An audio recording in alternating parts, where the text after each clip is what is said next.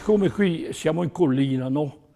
E eh, andando là così, e adesso ci sono le case, e c'è su la collina dove va su proprio la più alta, diciamo, del paese, e c'era su, c'era dentro una pianta di grossa così, vecchia, che dopo, non so, forse vent'anni fa è morta, l'hanno sostituita con un'altra giovane. E lì, come adesso, qui a Bulciago, dove andavano? Alla domenica, dove andavano? Che non avevano i soldi, ne... andavano su tutti a piantone, andare su, pieno così, fino a mezzanotte, fino a mezzanotte. E ce n'erano di quelli che stavano su anche a dormire, quando faceva caldo. Ma d'estate era pieno, pieno, non si, tro si trovava il posto da sedersi.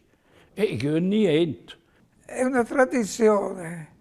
Era il punto più alto del paese e c'era questa pianta che poi è morta e l'hanno ripiantata. Niente, era un simbolo del paese. Era, era, il monumento del paese, era considerato.